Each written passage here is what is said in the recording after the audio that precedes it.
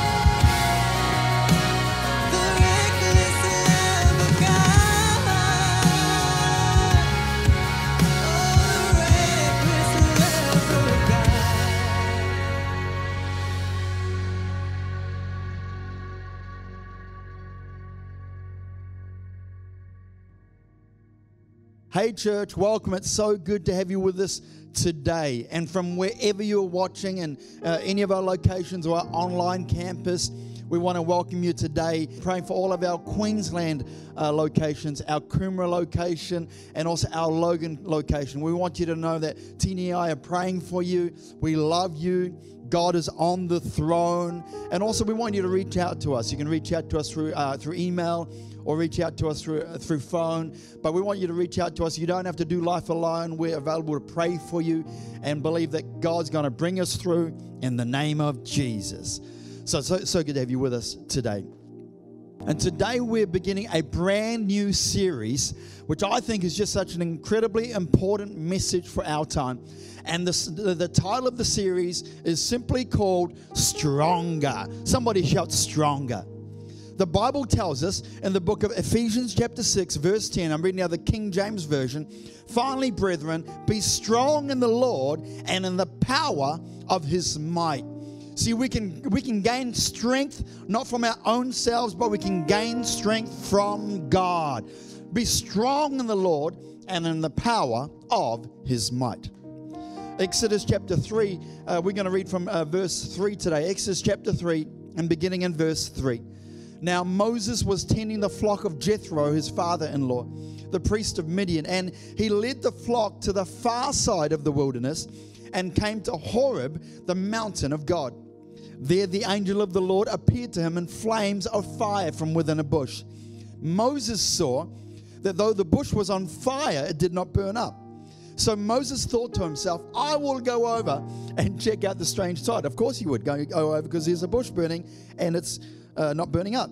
So, uh, so I will go over and see the strange sight, why this bush does not burn up.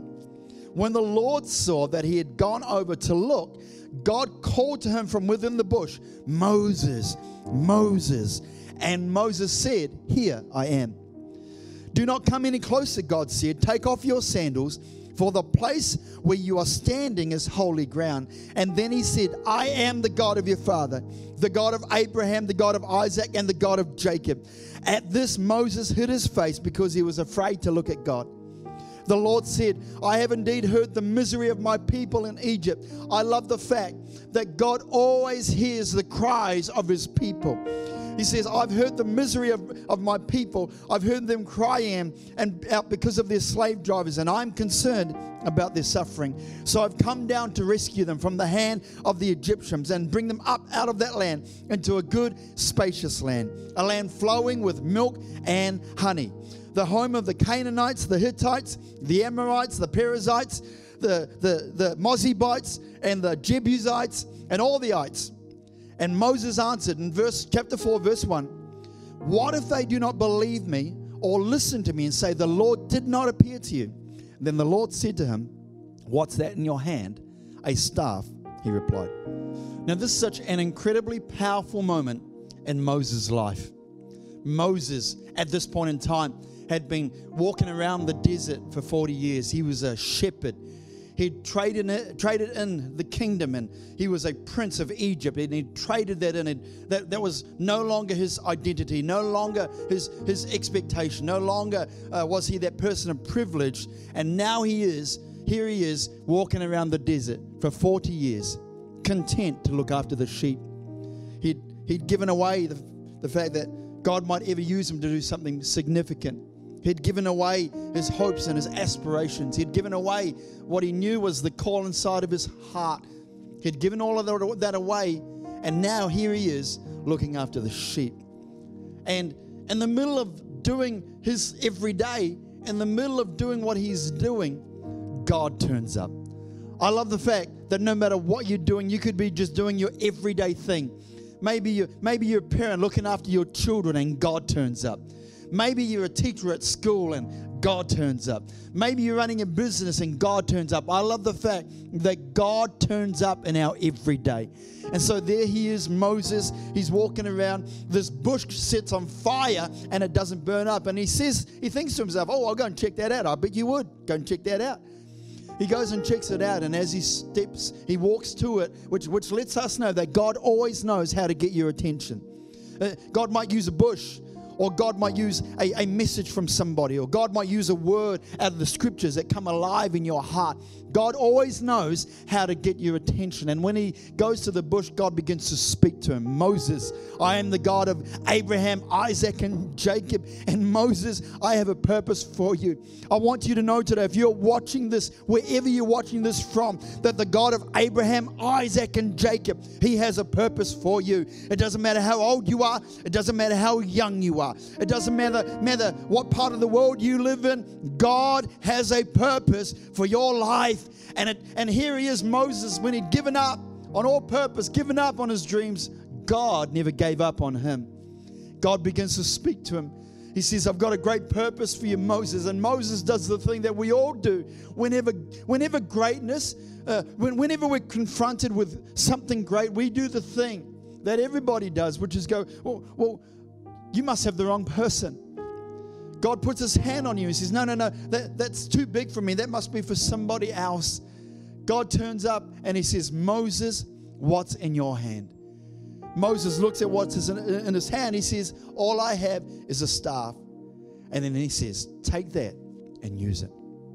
I want to encourage you today that, that there are three thoughts that I want to share with you as it pertains to being strong in the Lord and in the power of His might. Come on, I want everybody watching right now. I want you to shout that word stronger. Yeah, in fact, write it even right now on that uh, on that chat. Stronger. I'm prophesying right now that in the middle of restrictions and in the middle of lockdowns and in the middle of doctors' reports, in the middle of financial reports, that God is calling us to be strong in Him. Be strong in the Lord and in the power of His might. The people of God, the believers of God, are not dictated to or defined by their circumstances. They're defined by the God that lives in us. And even though everything around us may be crumbling down, the strength of God is rising up in His people. And if you believe that today, somebody shout, Amen. Come on, give me some hands up emojis. Amen. And be strong in the Lord and in the power of His might. And there are three lessons that we want to draw from Moses today as it pertains to being strong in the Lord. Number one, start where you are. My friend, I don't care what's going on around you, you can start right where you are. See, one of the great challenges or one of the great traps is that often we want to start where they are or we want to start where we were. My friend, when it comes to being strong in the Lord, we can't start where somebody else is. We can't start by trying to do what somebody else is doing. Even right now, uh, when, you, when it comes to athletics and when it comes to racing, you cannot race in somebody else's lane. It is literally illegal to, to change lanes. So as you're running, you've got to stay in your lane. And my friend, when it comes to the purpose of God for your, for your life, don't change lanes. Be who God's called you to be and start where you are. And equally, we can't start where we were. See, oftentimes we're trying to start where we were, what we used to be, how we used to do things, uh, uh, where we used to live, and, and what we used to do. We, we, my friend, can I encourage you? Don't start where you were, because where you were is not where you are today. But my friend, start where you are. My friend, you don't have to be great to start, but you must start in order to be great. And can I encourage you, friend, just start where you are. Start with what's in front of you. Start right now where you are. About a year ago, um, you know, I was uh, personally going to the gym a lot, and, and I felt good about my health. And I was going to gym several times a week, and was walking every day, and and uh, and it was just amazing. And I, and I just felt incredible health. I felt I felt great. And then as we hit the beginning of this year, well, I had a few small health challenges, nothing major, but I had some health challenges. And then that just kind of stopped me from going to the gym as often. And in fact, I haven't been to the gym for a while now. So when I think about that, I think about my health. I think, oh, you know, a year ago I used to be this and now I can't do that. Well, when I go back to start, I can't start lifting the weights that I was lifting a year ago. I've just got to start at the beginning again. And my friend, that's okay. It's okay to acknowledge, hey, listen, I'm not where I was. This is where I am today. You can start where you are today. Come on, I want to encourage you, friend. What is it? What is it the thing that God's speaking to you about starting today? Hey, maybe it's starting a new devotional today. Hey, maybe it's starting a new prayer group today.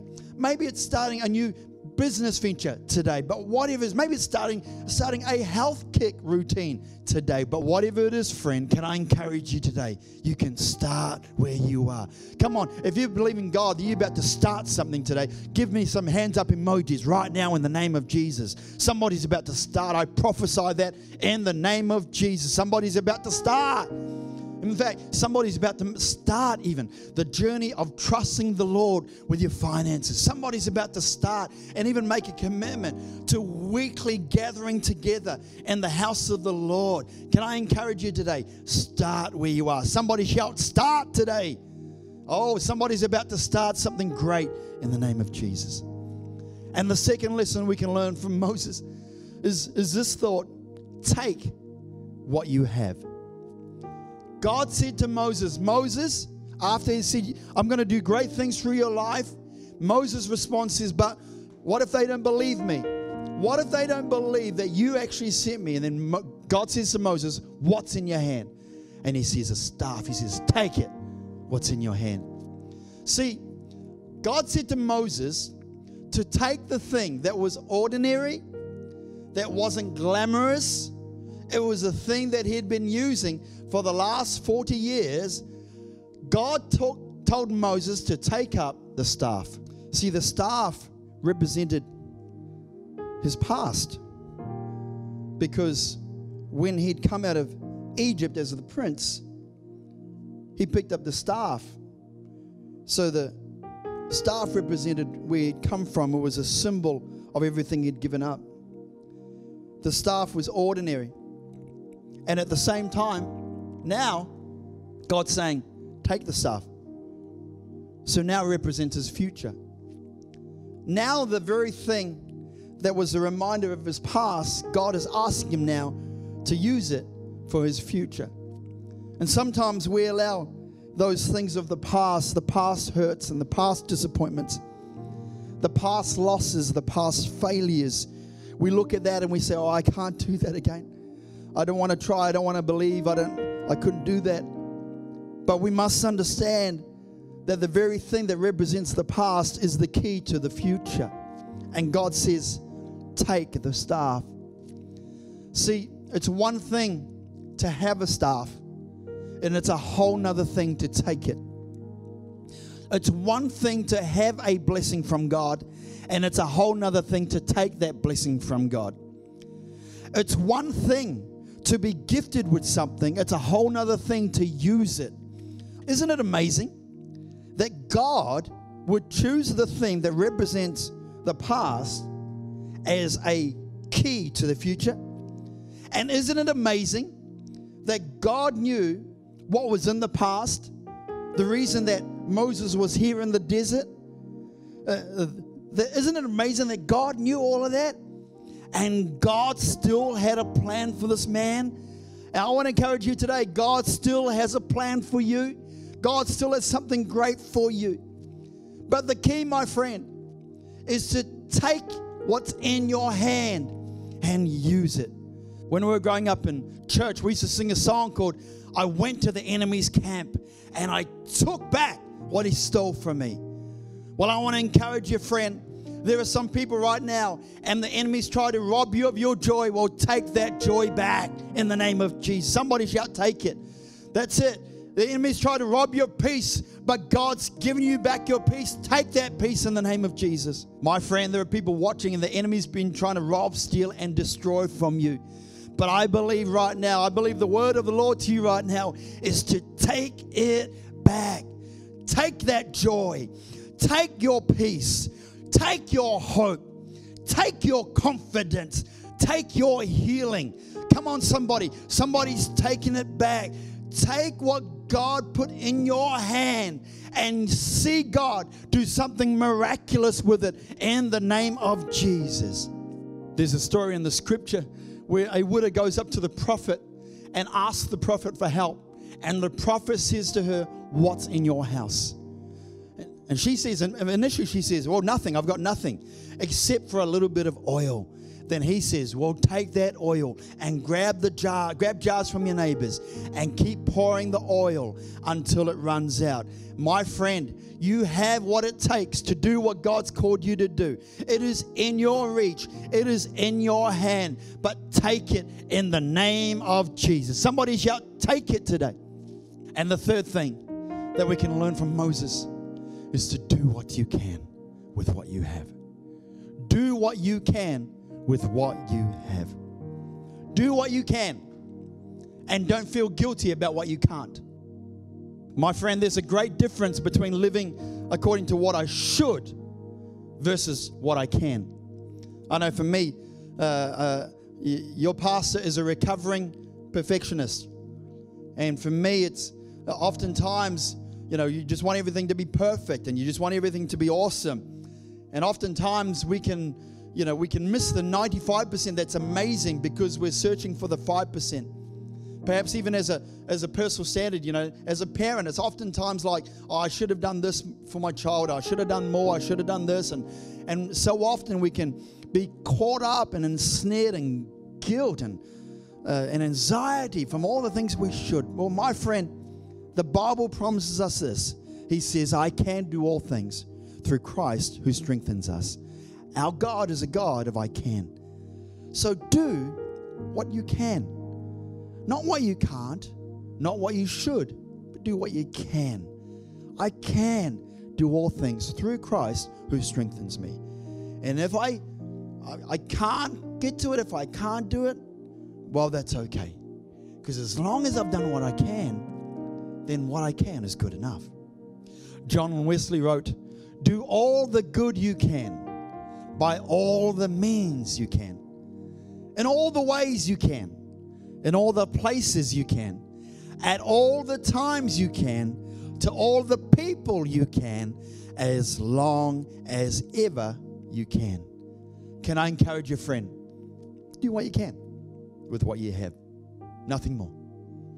Do what God's called you to do, nothing more. So, my friend, three lessons that we've learned today from Moses about being stronger in the Lord is to start where you are. Start today. Just start where you are. Just right now, start where you are. Not where you were, not, not where you want to be, but where you are. Start where you are. And take what you have. Take what God's given to you. What, what has God gifted to you?